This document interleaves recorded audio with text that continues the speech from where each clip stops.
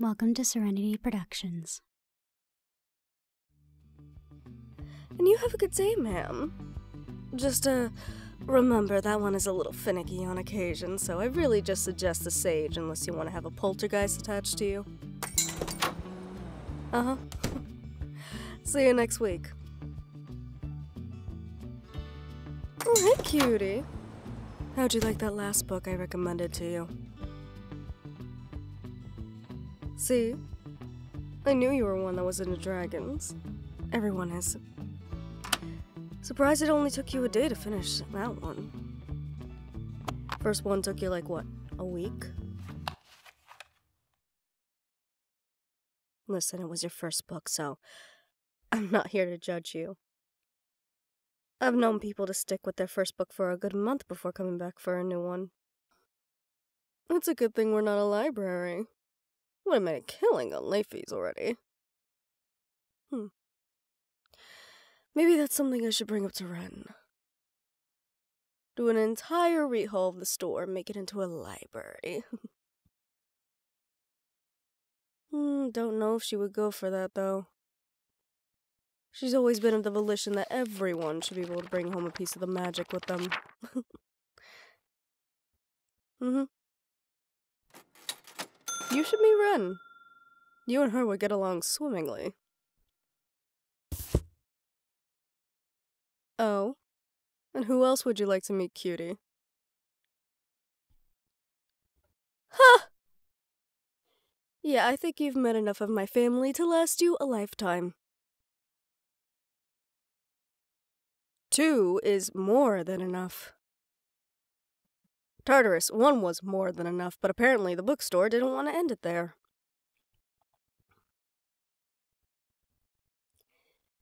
I really don't want to talk about it, okay, cutie?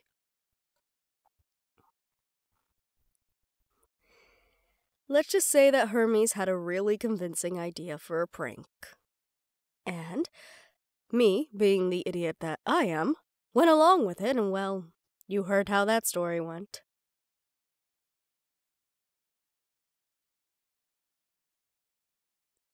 Yes, he is always like that. Always has been, always will be.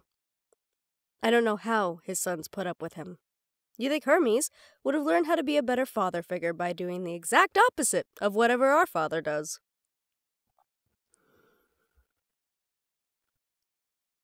Listen, hopefully the new wars I put in place will negate anyone that has my blood from showing up. Which should take care of most of the pantheon of assholes that I get to call my family. Oh, please. Anyone that I don't share blood with doesn't give a rat's ass about where I am or what I'm up to. I'm not even. Oh, you gotta be fucking kidding me. You. I am convinced all my problems, this is all you, and you're causing all this. Well, you're getting your wish, and it's too late for me now to do anything. Eris. Deity? Hello, sister in law. Oh my god. You gotta be kidding me. How in Hades did they convince you to try and get me back home? Ares put me up to it. Said if I truly loved him, I would give it my best shot. It was a bit of a low blow, but I promised him I would. Plus, Eros misses his favorite aunt. I thought Ares wanted nothing to do with what was going on. He didn't, but then Zeus decided to get all in a hissy fit about it, and you know how your father can get. So then why hasn't he come? The portal wouldn't let him. He got all of a foot in, and the magic spat him right back out like a rag doll. Oh, right. What? That might have been this time because of me. No one that has my blood can come through, and Ares well. Well, if you want Ares to give it a try, you might want to remove that spell. Hmm, maybe. Alright. Cutie, this is Aphrodite. Aphrodite, this is one of my favorite ish customers. Though right now I'm starting to think that they're my unlucky charm. customers. Oh, uh, this is a shop. Oh, hello, you've let yourself fall in, Eris. Right. You're now servicing mortals. Wait till Ares hears about this. Hello, mortal. My name is Aphrodite, goddess of love, lust, beauty, procreation. And I think they had the full picture at last, sis. Right. Anyway, are you going to make me go through the spiel again? Or are you going to make my life easy and just come home? Deity, it's me. I don't care how many times you laid with Ares. That still doesn't make us right in my book. Get over yourself, Eris. I should be the one that's still holding a grudge. You pit me against Hera and Athena. Honestly, Eris, it was just a wedding. And not even a very good one at that. And you won. Why are you mad? Because I had to grovel to a mortal. Me! I mean, look at me. Do I look like I was made to grovel? What is that look for? Daddy, you are making this way too easy for me. Ares is different, and you know it. That is not the point. We all have our job to do on the mountain, and you are neglecting yours. And you are not the only one who has had a hard life there, you know. Hephaestus is a kind and honorable man, and you're lucky enough that he turns a blind eye to yours and Ares' indiscretions. Which you have flaunted all around Greece, not just Olympus. He's so boring, though. He never goes to any parties and just stays in his forge all day. He barely even talks to me when I'm there. Probably because, much like Hades, he prefers to be left alone. I would too if Hera had thrown me from the mountain. We are getting off track. Just come home. Zeus is making life unbearable for all of us, including Ares. Don't you care for your brother? My brother would know better than to try to get me to do something I don't want to do. Cutie, start helping me put the stack of books away. This isn't going to be a very long conversation. Here she goes again. Eris only thinking about herself. The rest of us be damned. Ah, yes. Hi, Pot. I'm Kettle. Nice to meet you.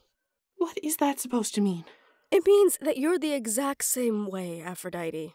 You're only looking out for yourself. I most certainly do not. Do too. Even when your son found love, you couldn't let him be. You had to get involved. That is different.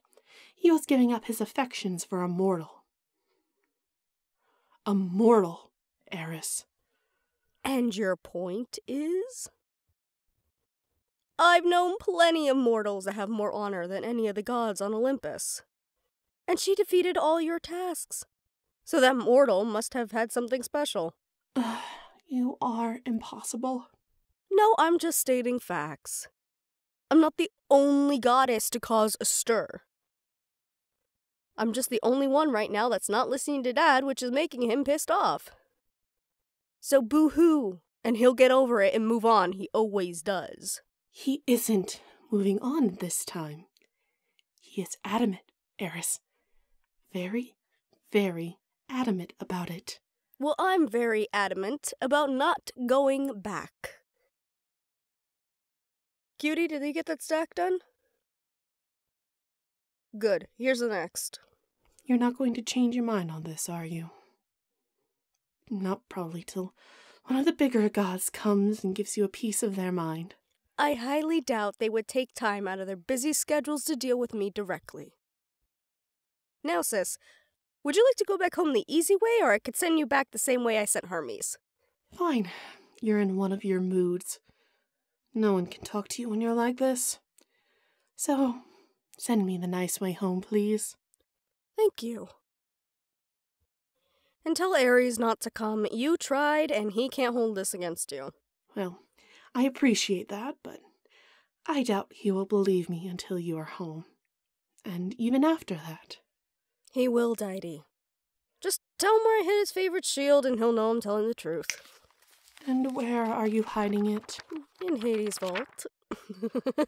By the gods, Eris, he might actually kill you this time. Bye, Deity. okay, well, maybe not one of the gods that I'm most pissed off with, thank you. I appreciate that. But seriously, get over it, Dad. I'm not coming back. Alright, you. I'm running several different spells on you. I know you're the catalyst for this because it only started happening once you came into the shop. So sit your butt down, and I'm gonna run some tests. Don't worry, none of them will hurt. Maybe. it's a joke. It's a joke. It's a calm, calm. Okay. Maybe let's not make that joke with you again, okay? It's everything's fine. Let's just go get you something to drink.